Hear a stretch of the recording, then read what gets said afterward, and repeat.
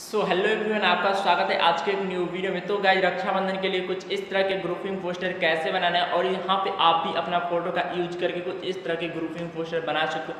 तो कैसे बनाना है, क्या प्रोसेस है, चलो सीख ही लेते हैं। तो इस तरह के पोस्टर को बनाने के लिए पिक्सल एप्लीकेशन की ज़रूरत पड़ेगा गाइज़ पिक्सल एप्लीकेशन को प्ले स्टोर से इंस्टॉल करने के बाद पिक्सल एप्लीकेशन को ओपन कर लेना है। और ओपन करने के बाद कुछ इस तरह के पी फ़ाइल की ज़रूरत पड़ेगा गाइज़ तो ये पीएल फ़ाइल का लिंक इस वीडियो के डिस्क्रिप्शन है। तो पी फ़ाइल को वीडियो के डिस्क्रिप्शन से डाउनलोड डाउनलोड कर लेना है, जो कि वीडियो को आप अच्छे से देखिएगा तो पी फ़ाइल आपको डाउनलोड कर लेना है। और डाउनलोड करने के बाद गाइज़ सो यहाँ पे ये सभी फ़ोटो को चेंज करके यहाँ पे आप अपना फ्रेंड का फ़ोटो का यूज़ करके बना सकते हो। जैसे कि यहाँ पे ये सभी फ़ोटो को आप चेंज कर सकते हो।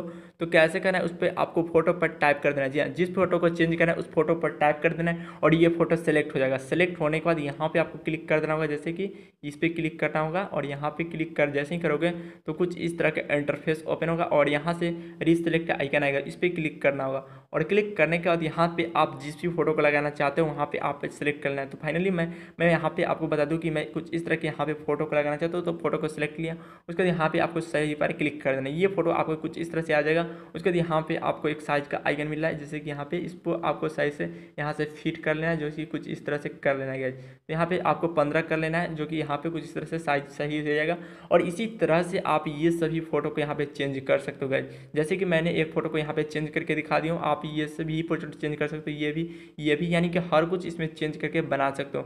तो गाइज़ इस तरह से आपका जब कि पोस्टर बन के रेडी हो जाएगा तो इसे एच क्वालिटी में सेव कर लेना है, जो कि सेव करने के लिए यहाँ पे क्लिक करना है। और क्लिक करने के बाद यहाँ पे आपको देखने को मिल जाएगा, जैसे कि इस पर सेव एज इमेज इस पर क्लिक कर देना है। इस पर क्लिक करते ही यहाँ से आपको अल्ट्रा कर लेना है, जो कि यहाँ पे डिफ़ॉल्ट को अल्ट्रा कर लेना है। उसके बाद यहाँ से सेव टू गैलरी पे क्लिक करना होगा, जैसे सेव टू गैलरी। इस पर क्लिक करना होगा। ये क्लिक करते ही ये आपकी पोस्टर गैलरी में सेव हो जाएगा। इस पोस्टर को आप अपने फेसबुक, इंस्टाग्राम यानी व्हाट्सअप की मदद से आप इसे शेयर कर सकते हो। तो वीडियो आपको कैसा लगा कॉमेंट करके बताना। अगर वीडियो को अच्छा से देखेंगे तो वीडियो में आपको तीन जगह पर पासपोर्ट हो गया। उस पासपोर्ट से वीडियो के डिस्क्रिप्शन में फिर भी फाइलिंग कर डाके डाउनलोड कीजिए और बनेगी। आप भी इस तरह के पोस्टर को बधाई दीजिए।